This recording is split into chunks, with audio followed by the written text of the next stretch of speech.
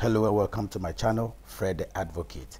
Now, did you know that it is possible for you to pay 250,000 US dollars to see the Titanic shipwreck under the sea? Yes, it's now official. OceanGate Expeditions sends citizen crews to the RMS Titanic with a team of dive experts, scientists, and filmmakers.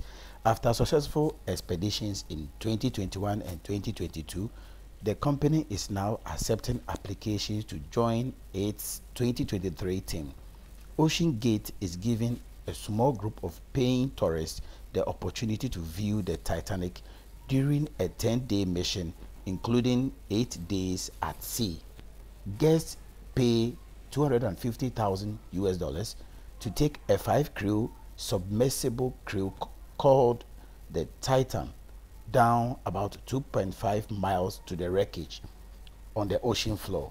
You just have to be at least 18 years old and strong with a valid passport. So there you have it. If you want to visit the Titanic shipwreck deep, deep, deep down under the sea and see how everything looks right now, please, you can contact the company um, and they will sort you out. Thank you for watching this video.